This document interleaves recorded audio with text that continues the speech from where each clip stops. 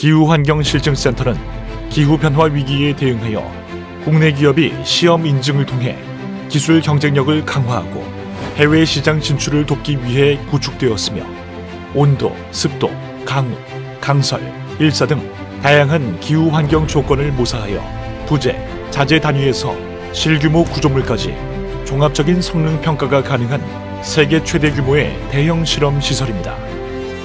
기후환경실증센터는 국토교통부 기후변화 대응 다환경 실험시설 구축 사업의 유치기관으로 선정되어 구축되었으며 충북 진천군 덕산읍 정통로 5에 위치하고 있습니다.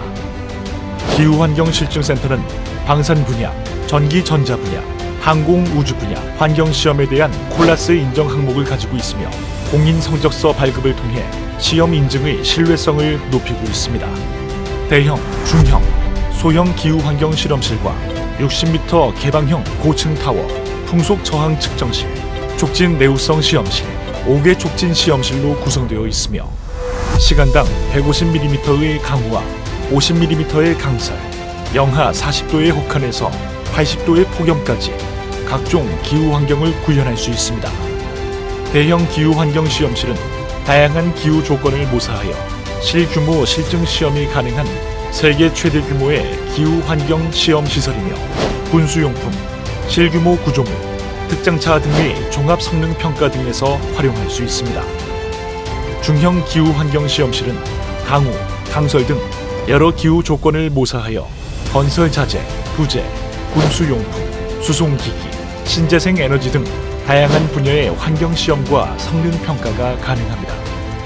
소형 기후 환경 시험실은 극한의 환경 조건 모사가 가능한 시험실로 건설 분야 및 자재 등 다양한 분야의 환경 신뢰성 시험을 수행하고 있으며 60m 개방형 고층 타워는 건축 외장재 실증 시험, 무인 항공기 운항 및 안테나 수신 시험 등이 가능합니다.